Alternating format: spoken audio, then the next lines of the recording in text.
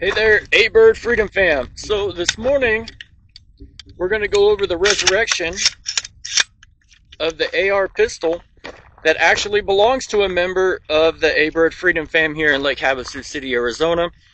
Um, this poor pistol came in, the customer was working inside of a budget, and unfortunately his budget bought him a lot of problems. Um, we'll go over some of that real quick. So this was a polymer upper and lower. Um, I'm not going to go naming brands because things happen to everybody. So after a few hundred rounds, the customer couldn't move the bolt to the rear with the charging handle. Literally, you had to mortar it. So basically, it was useless. And so he brought it in after he had taken it to another shop.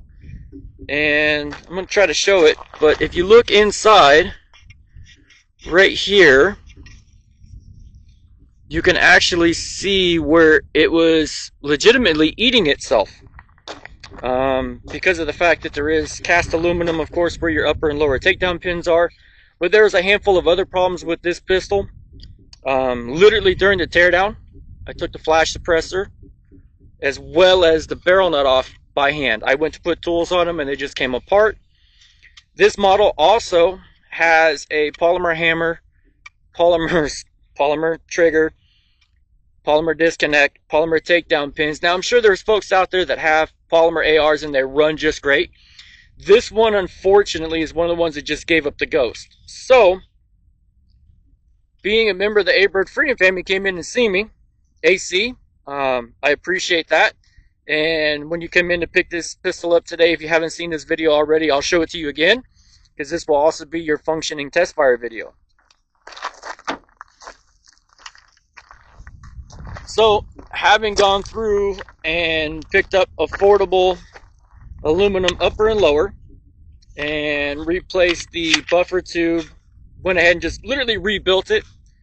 Um, let's go ahead and let's put the first rounds down range and see what she does.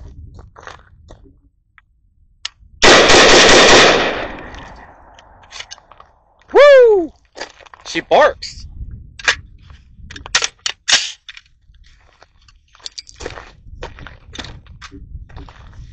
So, obviously, we don't have to mortar it now. So, things are important, such as barrel nut torque, and that upper is actually warped to the point where completely stripped down, you can't get the charging handle to go through the channel about halfway up. It gets all bound up. The upper receiver actually warped to the side. Woo, whoop. I don't know why I did that, but so let's go ahead. I'm gonna I'm gonna go ahead and load up another mag. We'll put a few more rounds through it and make sure she runs good so that uh, that member of the A-Bird Freedom Fam here in Lake Havasu City, Arizona can go ahead and get his pistol back. Go ahead, like, comment, subscribe. Here we go. Uh, another another rotation of test fire on the resurrected, formerly polymer, now aluminum, upper and lower, built out AR pistol.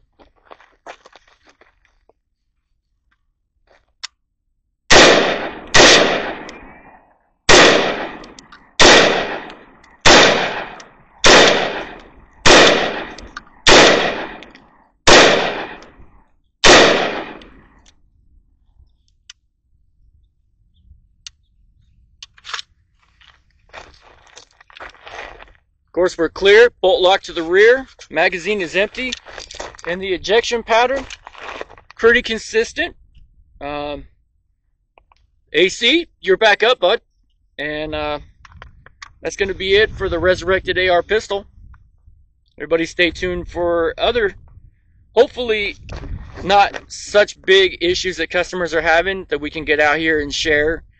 Um, and if you're having a problem with your AR, go ahead and stop in and see me at A-Bird Freedom Support in Lake Havasu City, Arizona. Let's go ahead and diagnose it because maybe the issue you think you're having isn't what you're having. That's all I got. Everybody stay safe, shoot straight, hydrate.